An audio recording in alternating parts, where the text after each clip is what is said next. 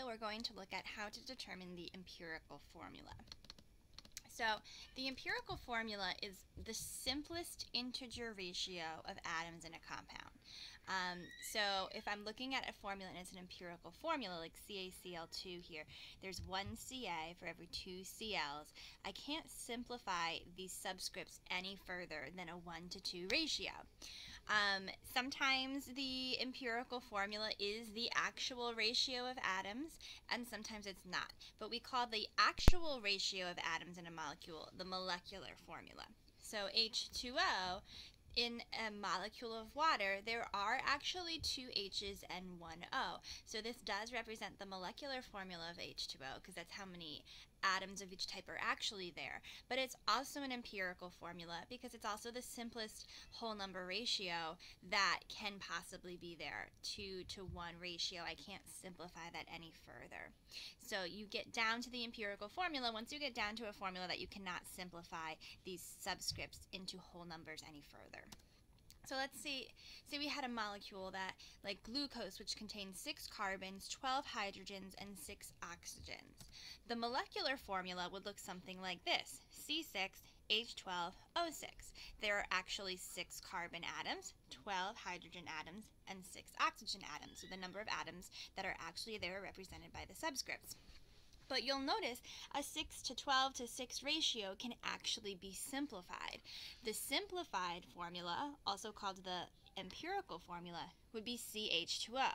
If I were to divide all of these numbers by the greatest common denominator, in this case would be 6. These numbers could all divide by 6, and 6 divided by 6 would give me 1, we don't have to write in a subscript of 1. 12 divided by 6 would give me 2, and 6 divided by 6 would give me 1. So essentially you're looking for the greatest common denominator between all of those subscripts and dividing by it to get the empirical formula.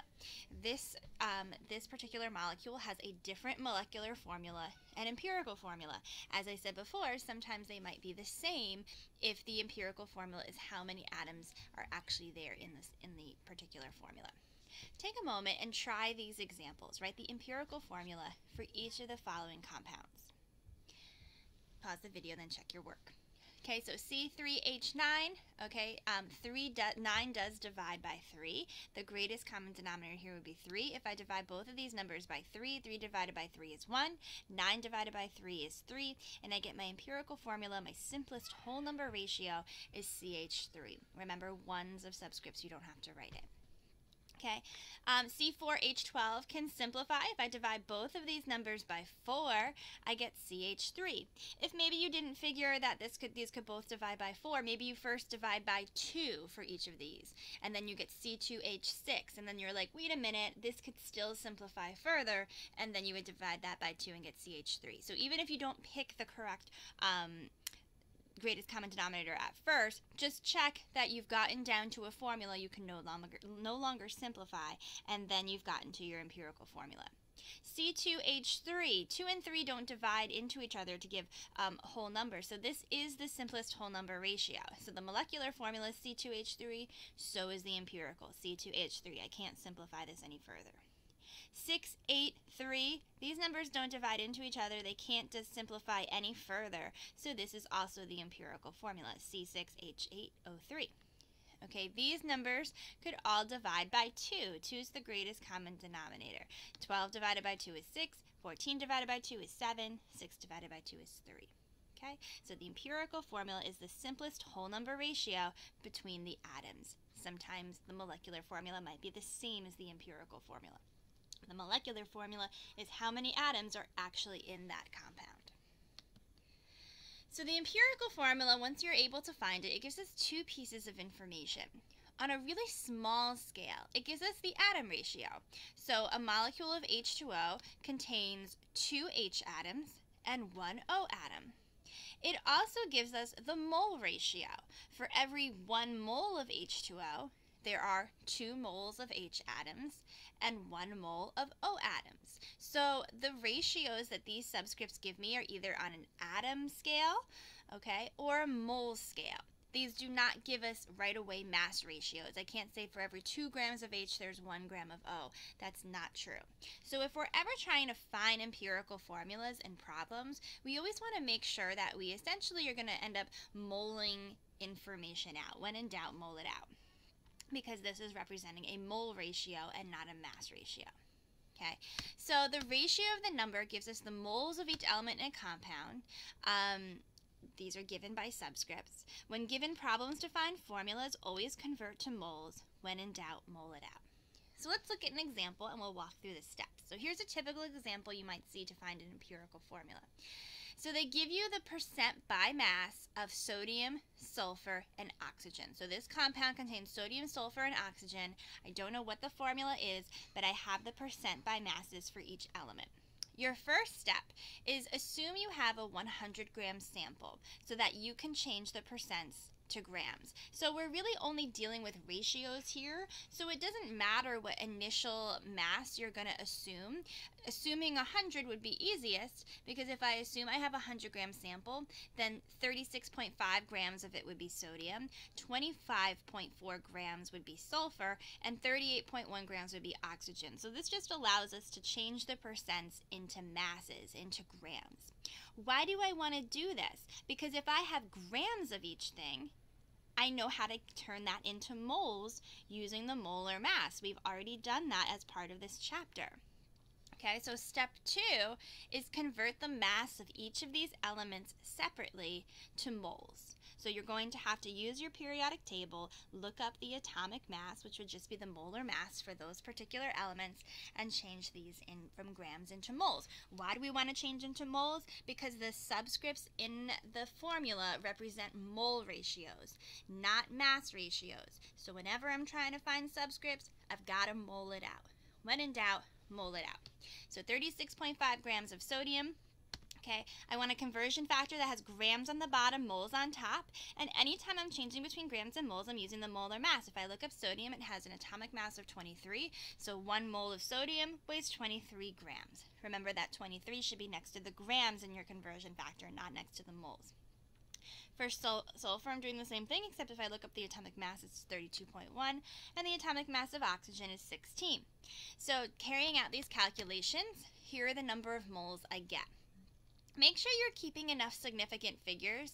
So notice I have one, two, three significant figures to start with. So I'm rounding my answer to three significant figures. Most importantly, just don't, just make sure you're not rounding and cutting off too many numbers.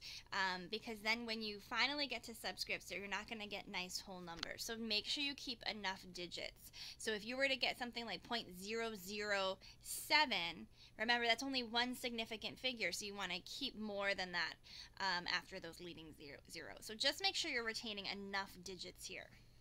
All right, so now we have moles. These are essentially the subscripts, okay? So I just made this note, make sure to keep enough significant figures, at least three. Leading zeros don't count. So once you have these, um, these numbers that I just found, these are the subscripts. There we found that there's 1.59 moles of sodium, so that would be like the subscript of sodium. 0.791 moles of sulfur, that would be the subscript of sulfur. 2.38 moles of oxygen, that would be the subscript of oxygen. But do these numbers look nice? No. Why? What are we used to seeing subscripts as? We want subscripts to represent whole number ratios, and these numbers are not whole numbers, these are decimals. So now we just have to work on changing these numbers into whole numbers. So the way to do that is, um, most often, is, is I want to find which of these numbers is the smallest. Okay, 0.791 is the smallest. And I know that if I were to divide that by itself, I would get 1.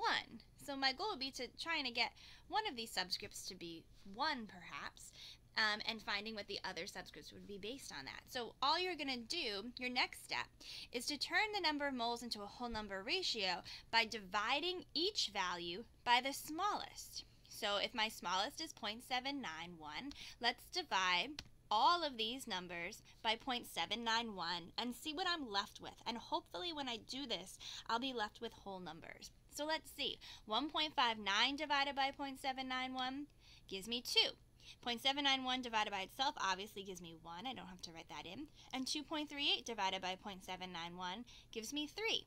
Now I'm in whole number ratios. I'm done. Here's my empirical formula. Na2 S1O3. It can't be simplified any further. It makes sense that this is the empirical formula. They should have all whole numbers. Okay, obviously if you're doing this step and you get something like 2.01, round it to 2. If you get something like 1.99, round it to 2. Okay, if you were to get something though like 2.5 instead when you were to divide these numbers, then I can't just round it. What do you think you could do if you got 2.5, 1, and 3? If you were to do that, you would just multiply all the numbers by 2 because then the 0.5 would cancel out. You 2.5 times 2 would give you 5, a whole number. Okay, and then you would get 2 and 6. So if you were to get a, something right in the middle, like 0.5, then do one extra step, multiply by 2. Otherwise, you should typically be done when you get to this step. There could be some exceptions where, like, you don't have to do this step. Um, your subscripts might be like 0.3 and 0.4. And then you could say, oh, that's a 3 to 4 ratio. Let me just get rid of the decimals. Um, but otherwise, this format should still really work okay? But if the ratios, again, are still not whole numbers, try to manipulate, manipulate them further to get to whole numbers. Okay, take a moment and try this example. Do the same steps that we just did. Okay, so my first step is to assume a 100 gram sample so that I can change these percents right into masses. If these are the percents by mass, okay, and there's a 100 gram sample, I would have 63 grams of uh, manganese and 37 grams of oxygen. Make sure you this is manganese and not magnesium. That might affect your atomic mass later. When in doubt, mole it out. I have grams. In order to get formulas, I need to be on mole ratios and not mass ratios. So now I have to mole these out and mole them out separately because they have different atomic masses. Okay, the atomic mass of mang uh, manganese is 54.9. The atomic mass of oxygen is 16. So I'm dividing so that grams cancel out and I'm left with moles. Make sure to keep enough significant figures here. Keep at least three. Okay, so now I have my moles. These are essentially the subscripts. So my, my formula right now is Mn 1.5, O 2.31. But I don't like these numbers. I need to get them into whole numbers in order to represent an empirical formula because we want the subscripts to be whole number ratios whole number ratios of moles. So now we just have to manipulate these to get to whole numbers. We said do that by figuring out which number is the smallest and dividing them all by that number. So my smallest number is 1.15. So if I divide 1.15 by 1.15, I get 1. And 2.31 divided by 1.15 gives me 2. So here's my formula, Mn1O2. That's my empirical formula. This is manganese 4 oxide, if you remember the naming. Take a moment and try this example. Notice in this example, I don't give you percents to start with. I give you masses to start with. So you're essentially just skipping step one, the assuming 100 grams, and you can go right into moling these things out. So you can solve problems that give you percent by masses by assuming 100 grams first and churning them into masses. Or you can solve problems that have mass amounts and just use the ones that are given. So in this case, Okay, I'm already in grams. I can skip step one. Okay, I can just take these masses of each and mole them out. When in doubt, mole it out. Remember, you have to be in moles in order to get your formula. Your formula represents the whole number ratio of moles. Make sure you keep enough digits here. These leading zeros don't count. I want to keep at least three significant figures. Here's one, two, three significant figures. These zeros don't count. Okay, so now I can get this into whole number ratios. Okay, so I'm going to divide by the smaller number, 0.0119, and I get CE1I3. Questions with that? Well, I guess I can't answer them. Take a moment, try this example, pause the video, give it a shot. Okay, tells you I have a compound iron oxide, so I know there's iron in it. I know there's oxygen in it, only two elements. And it's telling me that iron, um, it has 69.94% iron by mass. So I want to know the formula. Notice here I'm only giving you 1% by mass, but that's totally fine because I know that percents should add up to what value? I know percents should add up to 100. So if there's 69.94% iron, there must be 30.06% oxygen since there's only two elements in this formula. So don't forget there might be 1% missing. You can only solve for it by subtracting from 100. Okay, so now I have grams of each. When in doubt, we mole it out. We'll change each of these grams into moles by dividing by this molar mass. Okay, we have to be in moles to find empirical formulas because empirical formulas are the smallest whole number ratio of moles. Keep enough significant figures here. I kept even more than three here. And now we can figure out the formula. These are essentially the subscripts, but we got to get them into whole numbers. Let's divide by the smallest and see where that leaves us. Okay, we get FE1 Oh, and this is 1.5. It's like exactly between two numbers. So I don't want to just round this to 2, but I can get rid of that 0.5 by multiplying all the subscripts by 2. So multiply this whole thing by 2. 1 times 2 would give me 2. 1.5 times 2 would give me 3. And now I'm in whole numbers. This is my empirical formula, Fe2O3.